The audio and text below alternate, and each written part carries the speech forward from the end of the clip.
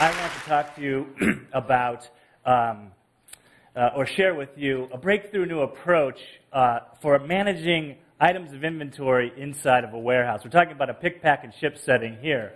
So, uh, as a hint, uh, this solution involves hundreds of mobile robots, sometimes thousands of mobile robots moving around a warehouse, and I'll get to the solution. But for a moment, just think about the last time that you ordered something online. You were sitting on your couch, uh, and you decided that you absolutely had to have this red t-shirt, so click, you put it into your shopping cart, and then you decided that green pair of pants looks pretty good too, click, and maybe a blue pair of shoes, click. So at this point, you've assembled your order. You didn't stop to think for a moment that that might not be a great outfit, but you hit submit order, and two days later, uh, this package shows up on your doorstep. And you open the box and like, wow, there's my goo.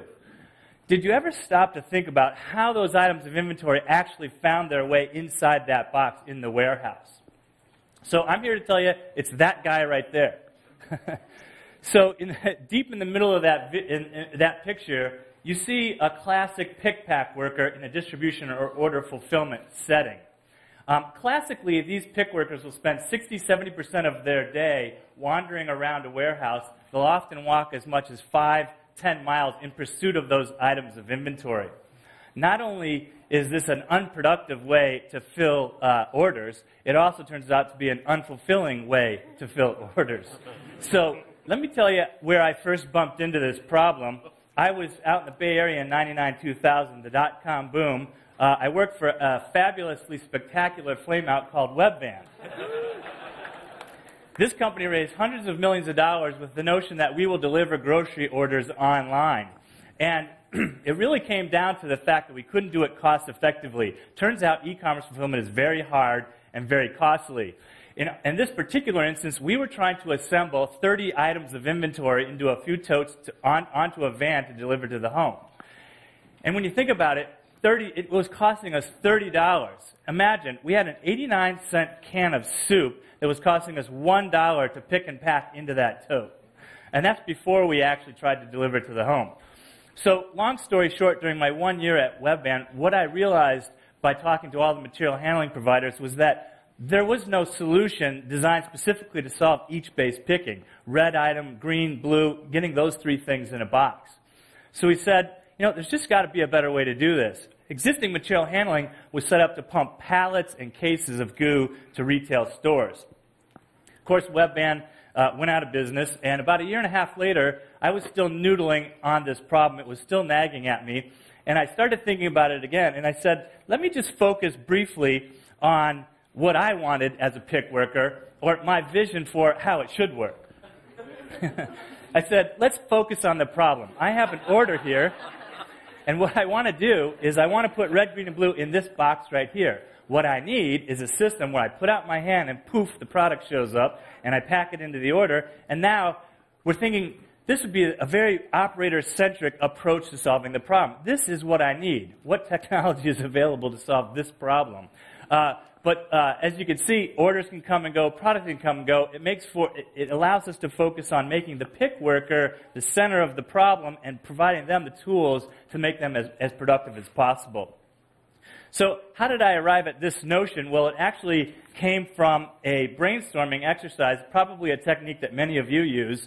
Uh, it's this notion of testing your ideas. Take a blank sheet, of course, but then test your ideas at the limits. Uh, infinity, zero, in this particular case, challenged ourselves with the idea, what if we had to build a distribution center in China where it's a very, very low cost market and say, labor is cheap, land is cheap, uh, and we said specifically, what if it was zero dollars an hour for, for, direct labor, and we could build a million square foot distribution center? So naturally, that led to ideas that said, let's put lots of people in the warehouse. And I said, hold on, zero dollars per hour what I would do is hire, quote unquote, 10,000 workers to come to the warehouse every morning at 8 a.m., walk into the warehouse, and pick up one item of inventory, and then just stand there. So you hold Captain Crunch, you hold the Mountain Dew, you hold the Diet Coke. If I need it, I'll call you. Otherwise, just stand there. But when I need Diet Coke and I call it, you guys talk amongst yourselves. Diet Coke walks up to the front, pick it, put it in the tote, away it goes. Like, wow. What if the products could walk and talk on their own? That's a very interesting, very powerful way uh, that we could potentially organize this warehouse. So, of course, labor isn't free uh, on that practical, practical versus awesome spectrum. Uh, uh, so we said mobile shelving, we'll put them on mobile shelving, we'll use mobile pods, uh, excuse me, mobile robots, and we'll move the inventory around. And so we got, in, uh, got underway on that, and then I'm sitting on my couch in 2008. Did any of you see the Beijing Olympics, the opening ceremonies? I about fell out of my couch when I saw this. I'm like, that was the idea. We'll put thousands of people on the warehouse floor, the stadium floor. But uh, interesting enough, this actually relates to the idea in that these guys were creating some incredibly powerful, impressive digital art, all without computers. I'm told it was all peer to peer coordination and communication. You stand up, I'll squat down. And they made some fabulous art. It speaks to the power of emergence in uh, systems when you let things start to talk with each other. So, uh, that was a little bit of the uh, a little bit of the journey. So, of course, now what became the practical reality of this idea? Here is a warehouse. It's a pick, pack, and ship center that has about 10,000 different SKUs. We'll call them red pens, green pens, yellow post-it notes. We send the little orange robots out to pick up the blue shelving pods, and we deliver them to the side of the building, so all the pick workers now get to stay on the perimeter. And the game here is to pick up the shelves, take them down the highway, and deliver them straight to the pick worker. This pick worker's life is completely different. Rather than wandering around the warehouse, she gets to stay still in a pick station like this, and every product in the building can now come to her. So the process is very, is very productive. Reach in, pick an item, scan the barcode, pack it out. By the time you turn around, there's another product there ready to be picked and packed. So what we've done is take out all of the non-value added walking, searching, wasting, waited time, and we've developed a, a very high fidelity way to pick these orders where you po- point at it with a laser, scan the UPC barcode, and then indicate with a light which box it needs to go into. So more productive, more accurate, um, and it turns out it's a more interesting office environment for these pick workers. They actually complete the whole order, so they do red, green, and blue, not just a part of the order, and they feel a little bit more in control of their environment. So, The side effects of this approach are what really surprises. We knew it was going to be more productive, but we didn't realize how, just how pervasive uh, this way of thinking uh, uh, extended to other functions in the warehouse.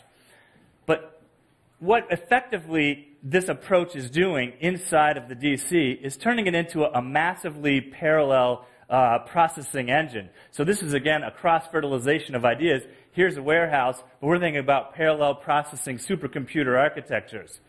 The uh, notion here is that you have uh, 10 workers on the right side of the screen that are, out, that, are, that are now all independent autonomous pick workers. If the worker in station 3 decides to leave and go to the bathroom, it has no impact on the productivity of the other nine workers. Contrast that for a moment with the traditional method of using a conveyor. When one person passes the order to you, you put something in and pass it downstream. Everyone has to be in place for that serial process to work. This becomes a more robust way to think about the warehouse. And then underneath the hoods gets interesting in that we're tracking the popularity of the products and we're using dynamic and adaptive algorithms to uh, tune the uh, floor of the warehouse.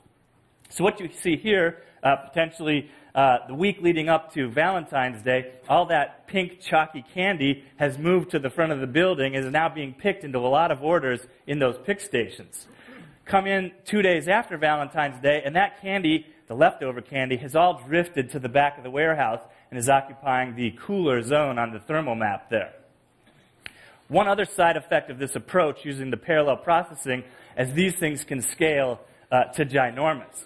So whether you're doing two pick stations, 20 pick stations, or 200 pick stations, the path planning algorithms and all of the inventory algorithms just work. In this example, you see that the workers have now, uh, so, sorry, that the uh, inventory has now occupied all the perimeter of the building because that's where the pick stations were.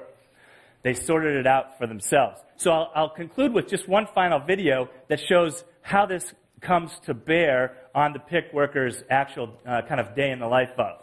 So as we mentioned, the process is to move inventory along the highway and then find your way into these pick stations. And our software in the background is, understands what's going on in each station.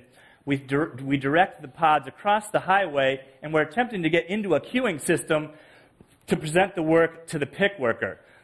What's interesting is we can even adapt to the speed of the pick workers. The faster pickers get more pods, and the slower pickers get few. But this pick worker now is literally having that experience that we described before. She puts out her hand, the product jumps into it, or she has to reach in and get it. Uh, she scans it, and she puts it in the bucket. And all of the rest of the technology is kind of behind the scenes. So she gets to now focus on the picking and packing portion of her job, never has any idle time, never has to leave her mat, um, and actually, so we think not only a more productive and more accurate uh, way to fill orders, we think it's a more fulfilling way to fill orders. Uh, the reason we can say that, though, is that workers in a lot of these buildings now compete for the privilege of working in the Kiva zone that day. Uh, and sometimes we'll catch them on testimonial videos saying such things as they have more energy after the, uh, after the day to play with their grandchildren, or in one case, a guy said, the, key, the Kiva zone is so stress free that I've actually stopped taking my blood pressure medication. that was at a pharmaceutical distributor, so they told us not to use that video. So, what I wanted to leave you with today is the notion that the, when you let things uh, start to kind of think and walk and talk on their own, interesting um, uh, processes and productivities can emerge. Uh, and now I think next time you go to your front step and pick up that box that you just ordered online, and you break open and the goo's in there, you'll have some wonderment as to whether a, a robot uh, assisted in the picking and packing of that order. Thank you.